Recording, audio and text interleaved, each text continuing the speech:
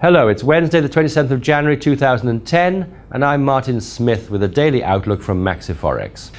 The dollar rose across the board with the exception of the yen. Worries about the economic recovery pushed the demand for safe assets, despite an increase in consumer confidence that came out better than expected at 55.9 versus 53.5 prior.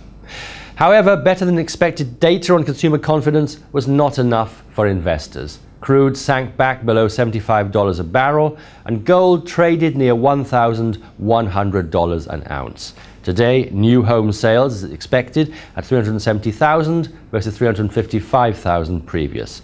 The interest rate decision is expected unchanged at 0.25%. The pound dollar now.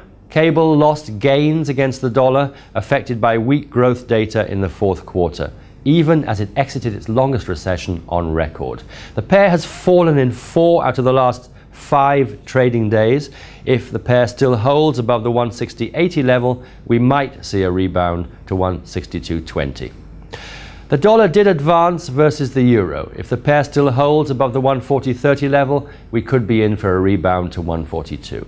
Of all the majors, the yen was easily the best performer and may extend advances versus most of its major counterparts on speculation that China will take further steps to cool its economy.